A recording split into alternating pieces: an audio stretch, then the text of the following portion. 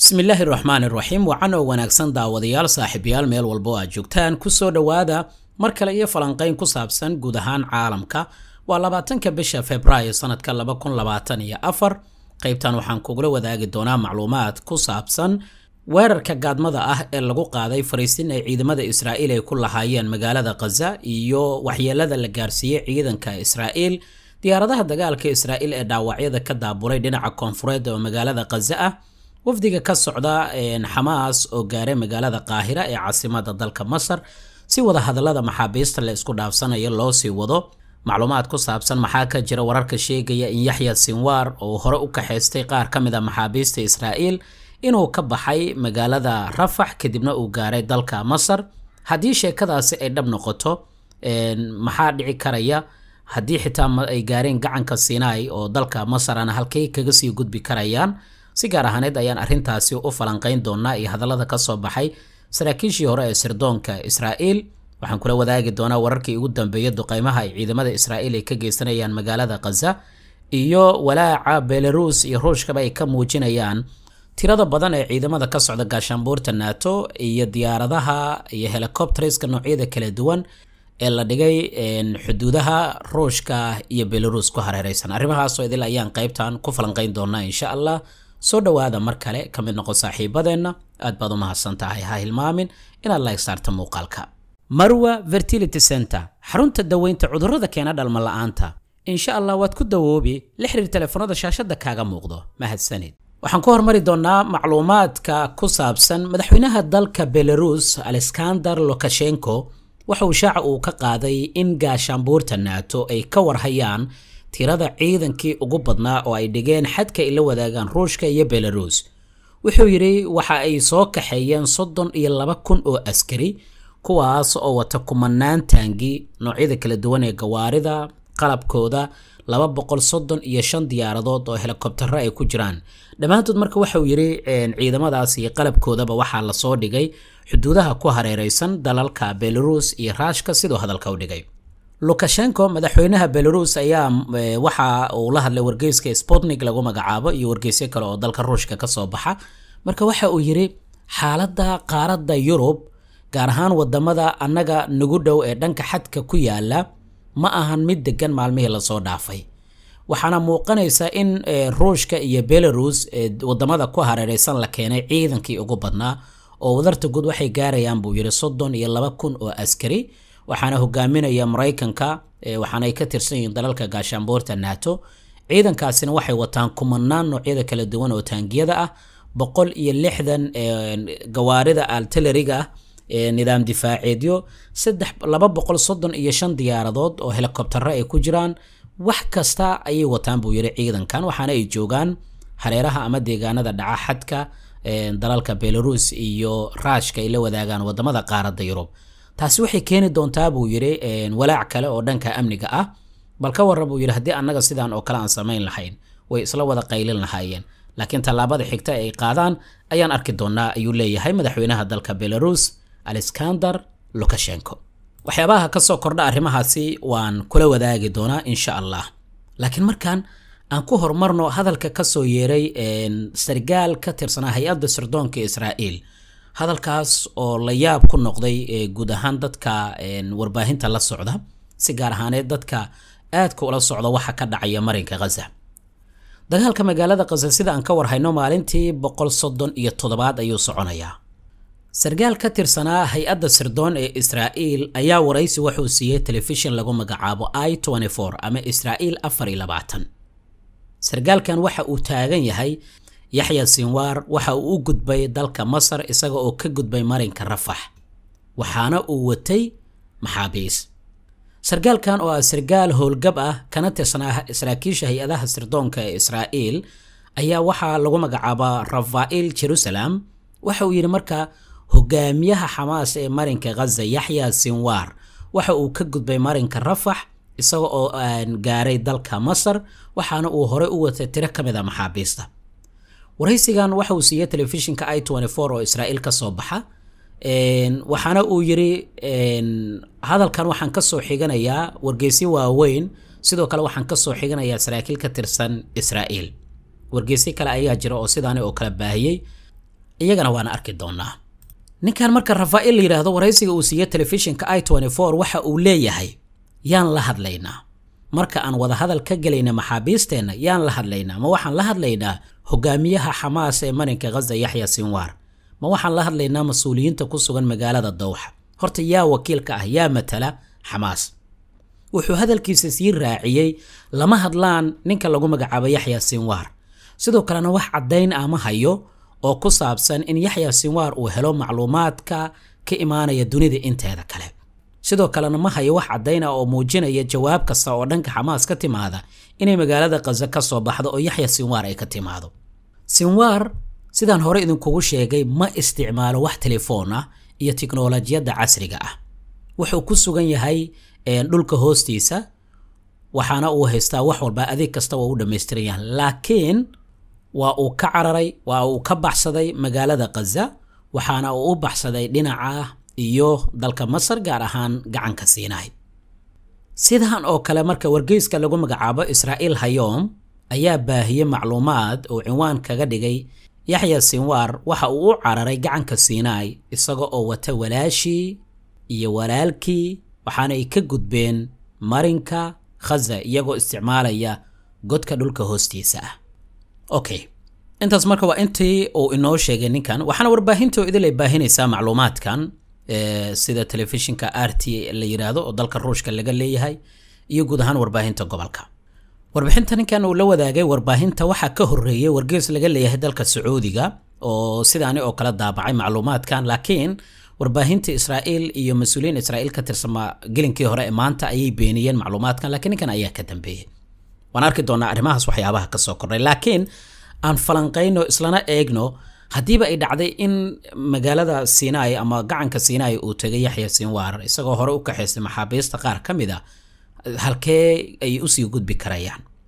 Maalintii shalay horta waa tii ay nala wadaageen israa'iiliyiinta isagoo god baxaya oo ay leeyihiin godkaas ayaa muuqaalkiisii ka helnay. Marka sii horreysay waxay nala wadaageen inay weerar ay ku qaadeen gurigiisii iyo xafiiskii uu ku lahaa magaalada kaza halkaasna sawirkiisii iyo macluumaad kale ay ka soo heleen. Maantana waxay maraysaa inay yidhaahdaan masar ayuu u baxsaday. Birina waan arki doonaa halka ay yidhaahdaan waa uu ku sugan yahay. Laakiin haddii gacanka sinai uu tegay maxaa u furan halkee ayuu aadi karayaa marka. Waaba haddii ay dhacdo. Sidaan ognahay gacanka sinai wuxuu ku yaalaa gudaha dalka masar. Sinayna ama gacanka sinayna waxa uu furan yahay dhanka biyaha badda cas. Haddii gacanka sinai aad joogtana waxaad joogtaa kanaalka suweys oo kanaalka suweys ayaa tegi karaysaa kanaalka suweys haddii aad joogtana waxay ka dhigan tahay waxaad ku sugan tahay yeman ama baabulmandab ama deegaano kale. Sababtoo kanaalka suweys ayaad intaad ka soo gudubto aad isticmaali karaysaa doon iyo waxyaabaha lamidka ama markab kadibna halkaas ayaad kaga soo gudbi karaysaa. Marka suuragal ma tahay in xitaa haddii halkaasi ay tageen ay waddada intaa la eg ay maraan. Haddii aad xusuusataan afar bilood inta dagaalka uu soconayo weliba bilowgii bishii ugu horreysay inay tahay aan jecelahay. Waxaan idinla wadaagay. Afar bilood ka hor ayaan macluumaadka noocan a idinla wadaagay. Aan iraado weliba saddex bil ka hor. Waxaan idinla wadaagay in uu jiro shaki weyn oo ah in durbaba maxaabiistii iyo mas'uuliyiin xamaas ka tirsanba ay intay godka soo mareen gacanka sinai ee tageen oo sirdoonka masaarida arrintaas ay ka shaqeeyeen qaarkood oo xamaad xiriir la leh in la soo gudbiyey dhinaca iyo badda la soo marsiiyey yemanna ay ku sugan yihiin maxaabiista qaar.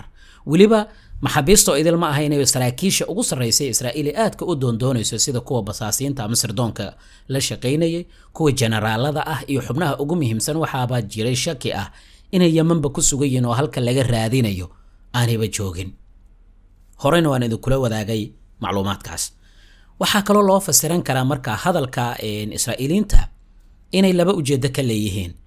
Inay ka leeyihiin ujeedo ah halkaa iyo gacanka siinaayna waxbaan ku tuhmaynaa. Marinka rafax oo laga gudbayna sababta aan hadda u aadnayna macluumaadyadaasoo idil ayaan haynaa xogo kale ayaa jira sidaa daraaddeed marinka rafax waan weeraraynaa. Yacni inay ku banaysanayaan weerarka ay doonayaan inay ku qaadaan marinka rafax iyo inay doonayaan na way dhici karaysaa laakiin haddii la maro wadadaan idiin sheegay oo kanaalka suweys laga soo gudbo dhinaca iyo baabulmandab la yimaado xaaladdu aad bay u adkaanaysaa. Oo waxaaba laga baqayaa in shan shan loo soo tahriibiyo dadka maxaabiista ah oo ugu yaraan wejiga ama shakalka laga bedelo. Haddii taasi ay dhacdana halis weyn ayaa muuqanaysa halista ii muuqanaysa marka waxay tahay in dadka maxaabiista ah xitaa suuragal ay tahay meelo kala duwan in laga rido oo dhinaca iyo iiraan qaar loo dhiibo qaar dhinaca mahafiyada la yiraahdo tahriibyo kuwo yeman laga soo rido taana way dhici karaysaa. Midna ogow haddii yeman la geeya maxaabiistan aad bay u adkaanaysaa in la soo furto. Sababtu maxay tahay? Yeman sidaan ognahay inta badan waqooyiga iyo koonfurta ayay u kala baxdaa oo dhinaca waqooyi waa dhinac buuro miiran ah oo buuraha ayaa aad ugu badan dhinaca koonfureedna waa dhul iska dhulxeebeed ah oo xoogaa ay sahlan tahay in dad lagu ugaarsado. Laakiin buuruhu aad bay u adag yihiin waana waxa awoodda weyn u yeelaya ciidamada xuutiyiinta ee ku sugan gudaha dalka yeman tusaale ahaan imise dowladood oo waaweyn ayaa isku dayay inay waqooyiga dalka yeman weerar ay ka fuliyaan. Waxaa ka mid ah boqortooyadii romaanka oo kale way ku soo jabeen. Boqortooyadii griiga sidaasi oo kale ingiriiska sacuudiga imaaraadka carabta ayaa hadda ugu dambeeyey markii xuutiyiinta ay damceen inay weeraraan way kaga guuleysan waayeen sababto ah waa deegaano buuraley ah. Xitaa masaarida waxaa la wada xusuustaa jamaal cabdinaasir mar uu weerar ku qaaday yeman xilligaasi waxaa la sheegay askar badan in looga dilay oo qabuuro caan ah oo qabuuraha masaarida la yiraahdo ayaaba ku yaalla magaalada sanca oo dalka yeman ah. Marka mar walba waxaad ogaataa qolada buuraha ku sugan dadkii la dagaalama iyaga ayaa ugu dambeyn faataxada geeya maxaan sidaa ula jeedaa? Waxaan ula jeedaa dadka halkaa ka dagaalamaya waa niman beeraley ah waa niman reer baadiye aan idhaahdo hub badan haysta buuraha ku dhuumaalaysanaya inay soo baxaanba inay bannaanka joogaan in kale aanay wax lura aysan ku haynin oo dagaal kuga soo qaadi karaya hubkoodii casriyeysanaya halkaasi awoodooda ku sii dhisaya. Afar iyo labaatanka saacna qofka halkaa jooga xitaa hal qubus ama hal muufa haddii uu helo wuu joogi karayaa marka yay wax ka khasaarayaan isaga buurahaasoo ku jira waa adiga qofka ciidanka iyo abaabulka iyo dhaqaalaha tirada badan samaynaya ugu dambeynna adiga ayaa faataxda geyn doona gudaha dalka yeman xaaladu aad bay u adkaan doontaa waana arki doonaa wax walba oo kasoo kordha haddii warka sargaalkii hore oo ka tirsan sirdoonka israa'iil gaar ahaan sirdoonka shimbeed oo gudaha qaabilsan ay israa'iiliyiinta beeniyaan iyo haddii kalena waan idinla wadaagi doonaa insha allahu tacala haddii nafta ilaahay inoo dhaafo dhinaca kale maanta magaalada khaza waxaa ka dhacay weerar kale oo gaadmo ah weerarkaas oo lagu bartilmaamaysaday ciidamada israa'iil ee ku sugan magaalada khaza warbaahinta israa'iil waxay baahinaysaa in askar ciidankooda ka tirsan oo ku sugnaa dhinaca koonfureed ay dabin ku dhaceen. Weliba weerar gaadmo ah lagu soo qaaday. Sidaasi oo kale telefishinka aljaziira ayaa warbixintan baahiyey waxaana uu soo bandhigay howlgalkan inuu ahaa mid ka dhacay guri ku yaalla xaafadda kanyunis oo dhinaca koonfureed ee magaalada khaza ah. Gurigaas ayaa la weeraray ciidankii israa'iil ka tirsanaa goobta ayaa lagu go'doomiyey madaafiic ayaa kadibna lagu qaraacay. Halkaasina waxaa la sheegay khasaare xoogan in lagu gaarsiiyey ciidamada israa'iil. Gurigan wuxuu ku yaalay xaafadda la yidhaahdo al zaytuun. Xaafaddan waxay ku taallaa dhinaca koonfureed oo kanyonisa waxaana wararka hordhaca ay soo baxay ay sheegayaan ilaa laba iyo labaatan askari taqriiban in halkaasi ay ku dhinteen qaarkoodna ay ku dhaawacmeen. Laakiin wadarta guud laba iyo labaatan askari ayaa lagu waramayaa inay gaarayaan guutada ciisediin alqasaamna way ka hadleen weerarkan waxaana ay yidhaahdeen weerarkan askar ayaan ku dilnay kuwo kalena waan ku dhaawacnay. Sidaasi oo kale diyaaradaha dagaalka ee israa'iil ayaa halkaa imaanayay si ay kuwa dhintay iyo kuwa dhaawacmayba ay u qaadaan. Dhowr jeer ayaa halkaasi ay ka soo degeen xaafadda al si ay dhaawacyadooda iyo askarta geeriyootayba ay halkaasi kaga daabulaan. Sidaas waxaa lagu yidhi qoraal ka soo baxay guutada ciisediin alqasaam oo telefishinka aljaziirana uu baahiyey afar labaatankii saaci la soo dhaafay israa'iil waxay tiri marka laba labaatan askari ayaa nagala dilay sidoo kalena inooga dhaawacmay dagaalka ka soconaya magaalada khaza laakiin xog kale oo dhammaystiran ma aysan bixin.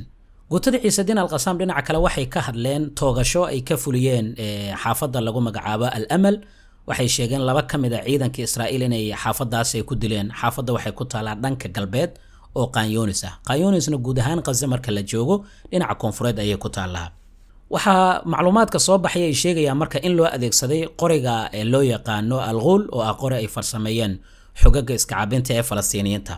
Saacadihii la soo dhaafay waxaa sidoo kale xogaga ay soo rideen diyaarado daronis ah iyo mid ka mid a diyaaradaha helicopterka sida lagu sheegay qoraallo ka soo baxay guutada ciisediin alqasaam. Marka waxaad moodaa saacadihii la soo dhaafay in ciidamada israa'iil jug la gaarsiiyey guutada alqudus garabka islaamig jihaadna dhankooda waxay sheegeen in ciidamo lugeynaya ay fursad ay ku heleen oo qaarkoodna ay dileen kuwo kalena ay dhaawaceen kadib markii ay ku heleen meel baylah ah magaalada khaza gaar ahaan dhinaca koonfureed. Macluumaadyada kale haddii aan eegno markii ugu horreysay warbaahinta israa'iil waxay bannaanka keenaysaa macluumaadka ku saabsan sirta ka dambaysa in la burburiyo guryaha ku yaalla magaalada khaza oo dad badan oo rayda ay deganaayeen barnaamijyadeennii hore sidaan idinkula wadaagnay guryahaas inta miinooyin lagu xiro ayaa meel bannaanka ah waxaa ka tagaya ciidanka kadibna waa tii rumuudka loo taabanayay halkaana lagu qarxinayay. Oo dhowr jeer xitaa ciidamada israa'iil iyagoo arrimahaasi ku mashquulsan howlgallo qarsoodi ah waxaa ku qaaday xoogaga iskacabinta ee falastiiniyiinta in badan oo iyaga ka midana goobta ayaa lagu dilay. Marka sida dad walba ay qiyaasayeen barnaamij ka baxay janaalka janaal afar iyo toban la yidhaahdo oo israa'iil laga leeyahay waxaa lagu sheegay ahmiyadda ugu weyn ee ciidanka sidaasay u sameynayeen inay ahayd in dhismayaasha oo idin la burburiyo si dadka ay ugu qasbanaadaan inay ka barakacaan magaalada khaza guud ahaanteed ilaa heer nolosha ay ku adkaato oo ay isku dayaan xitaa inay magangelyo ay weydiistaan waddamada kale. Yacni arrintaasi waxay noqotay arrin la yaab leh oo markii ugu horreysay xogtan waxaa baahiyay qaar ka mid a dadkii ka qayb galay ee dood telefishinkan uu qabtay oo laga leeyahay gudaha israa'iil. Waan arki doonnaa wax walba oo arrimahaasi ka soo kordha. Dhinaca iyo dalka masar haddii aan eegno madaxa xafiiska siyaasadda xoogaga iskacabinta ee falastiiniyiinta ayaa waxa uu maanta uu gaaray magaalada qaahira ee caasimadda dalka masar. Maanta oo talaado ah wafdigan uu hogaaminayo ismaaciil haniya ayaa ka degay magaalada qaahira halkaas waxaa la sheegay inuu wadahadallo kula yeelanayo mas'uuliyiin ka tirsan ee dowladda masar oo uu kala hadlayo xaaladda guud ahaan ee magaalada khaza iyo gardarrada ciidamada israa'iil ee bishii shanaad ay ka wadaan magaaladan. Sida wararku ay sheegayaan ismaaciil haniya waxa uu la kulmi doonaa mas'uuliyiinta dowladda masar gaar ahaan dhinaca sirdoonka iyo wasaaradda arrimaha dibadda waxaana uu kala hadli doonaa isdhaafsiga maxaabiista xaaladda guud ee magaalada iyo dhinaca magaalada rafax waxyaabaha ka soo kordhay xogaga iskacabinta weli waxay ku adkaysanayaan go'aankoodii ahaa in dagaalka iyada oo aanan la joojin maxaabiis marnaba aan la isdhaafsan doonin. Sidoo kale waxaa la filayaa magaalada qaahira inuu tago la taliyo sare oo ka tirsan dowladda maraykanka oo ilaa khamiista ayaa la filayaa inuu isagana tegi doono magaalada qaahira. Waxaa kaloo la qorsheynayaa in wafdi ka socda israa'iil ay tegi doonaan magaalada qaahira halkaasoo wadahadallada mar kale dib la isugu imaan doono. Toddobaadyadii hore ayaa magaaladan lagu kala tegay kadib markii wafdi afargeesood ah ay magaaladan kulan ay ku yeesheen wafdigaas oo maraykanka israa'iil masar iyo xamaas ka koobnaa laakiin kulankii waa la isku fahmi waayey waana lagu kala tegay waan arki doonaa wadahadalladaas waxyaabaha ka soo kordha. Ciidamada israa'iil markii jug xoogan lagu gaarsiiyey xaafadda zaytuun lagu magacaabo dhankooda maanta waxaa lagu waramayaa inay gantaalle ay ku garaaceen cisbitaalka al amal cisbitaalka al amalna waa tii qoryaha snibeka lagu dilay qaar ka mid a ciidamada israa'iil iyagana halkaas ayaa lagu waramayaa inay gantaallo ay ku garaaceen gelinkii dambe ee maanta. Qoraal goordhow ay soo saareen intaan barnaamijka diyaarinaynay ciidamada israa'iilna waxay leeyihiin waxaan qiranaynaa afartan iyo lix askari inay inaga dhaawacmeen. Labaiyo labaatan waa goordhow aan idinla wadaagay. Labaiyo labaatanna waa xamaas ay yidhaahdeen waxaan ku dilnay weerarkii gaadmada ahaa. Marka afartan iyo lix ayay dhankooda qiranayaan in laga dhaawacay taasina waxay ka dhigan tahay marka inay sii korodhay ciidanka israa'iil looga dhaawacay magaalada khaza sida iyaga ay sheeganayaan tan iyo markii howlgalka dhulka ah ay bilaabeen toddobiyo labaatankii bishii oktoobar sanadkiina dhaafay. Xaafadda nusayraad diyaaradaha dagaalka israa'iil duqeymo ayay ka fuliyeen ilaa iyo toban ruux ayaa lagu waramayaa inay halkaas ay ku dhinteen. Sagaashan boqolkiiba carruurta marinka khazana xaalad halis ah ayaa soo wajahaysa oo nafaqa darro ah. Wax walba oo arrimahan ka soo kordhana barnaamijyadeena kale ayaan kugula wadaagi doonaa insha allah aan wada ducaysana mar walba si uu ilaahay inooga dulqaado dhibaatooyinka haysta guud ahaan ummadda muslimka ah nabadgelyo caafimaad wanaagsan